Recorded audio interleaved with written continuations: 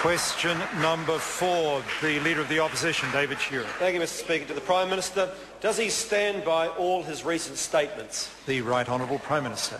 Mr Speaker, yes, the one, especially the one I said to my wife when I told her I loved her. The uh, Leader of the Opposition. Sup- supplementary, Mr Speaker. Order. Order, I apologize. Order. Order, I...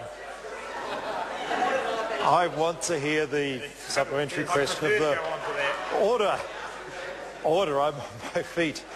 Ministers would be wise to recollect that if they include material in their answers, they can be questioned on it immediately.